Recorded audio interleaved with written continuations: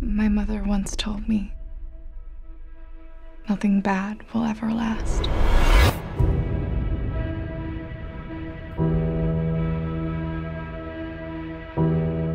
The country's dying. People are starving. I don't want you working yourself to the bone. You're like every other hick in this town, scared shitless of losing what you think you have. And what's that? A future.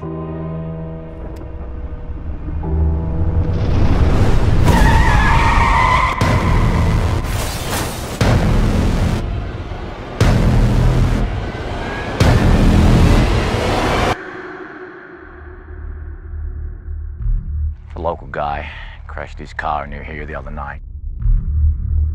Strangest thing, too. Not a scratch on him. We're on the brink of nuclear war. We need a strategic advantage. Where's the rest of it? You're supposed to tell me. What we're dealing with here is a living sample of abiogenesis. Evolution. No, no. Creation.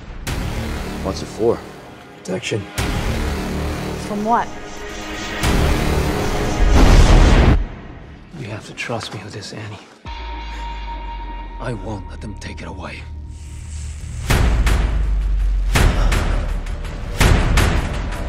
Tell me where it is!